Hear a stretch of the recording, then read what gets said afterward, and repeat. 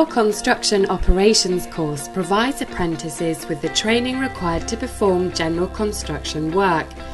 Using a variety of small plant tools, including laser levels, whacker plates, and jackhammers, apprentices will learn to install, lay, and repair domestic drainage and place and finish non specialist concrete.